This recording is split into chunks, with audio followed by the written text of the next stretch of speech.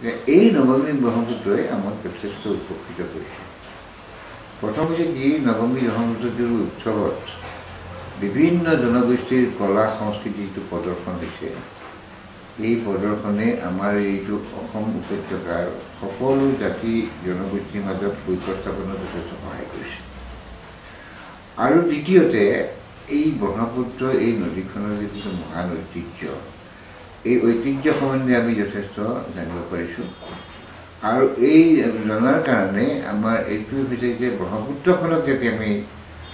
সুন্দৰকৈ ৰাখিব পাৰোঁ যাতে কোনো ব্যতিক্ৰমী কাৰ্য নঘটাকৈ ৰাখিব পাৰোঁ সেই প্ৰচেষ্টাত সেই প্ৰচেষ্টাই হৈছে বিজ্ঞান আৰু প্ৰযুক্তিবিদ্যাৰ যোগেদি হোৱা প্ৰচেষ্টা। সেই প্ৰচেষ্টাক ইন্ধন যোগাবৰ কাৰণেই আমাৰ এই নৱামী ব্ৰহ্মপুত্ৰ নৱামী এই উৎসৱটোৱে সহায় কৰিব। ব্ৰহ্মপুত্ৰখনক যে মানুহে ভাল পায় এই কথাটো খুব ভালকৈ দেখুৱালে দেখুওৱাৰ পাছত হৈছে কি আমাৰ সকলোৰে প্ৰচেষ্টা হ'ব লাগে যে ব্ৰহ্মপুত্ৰ পূৰ্বৰ যি ব্ৰহ্মপুত্ৰ যেনেকৈ এটা আমাক আমাৰ প্ৰাণদায়িনী শক্তি এটা আছিল সেই প্ৰাণদায়ী ঘূৰাই আনিবৰ কাৰণে বিজ্ঞান আৰু প্ৰযুক্তিবিদ্যাৰ প্ৰয়োগ হ'ব লাগিব সেই প্ৰয়োগত আমাৰ জনসাধাৰণৰ সহযোগো যথেষ্ট দৰকাৰ সেই জনসাধাৰণৰ সহযোগটো এই নৱামী ব্ৰহ্মপুত্ৰ উৎসৱটোৱে সহায় কৰিব ব্ৰহ্মপুত্ৰ যিটো অৱ অৱসাহিকা বুলি আছে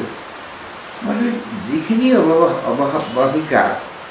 এই ভাৰতবৰ্ষত পৰে সেইখিনি অৱবাহিকাত পৰা যিখিনি পানী সেইখিনিতো ব্ৰহ্মপুত্ৰ জীয়াই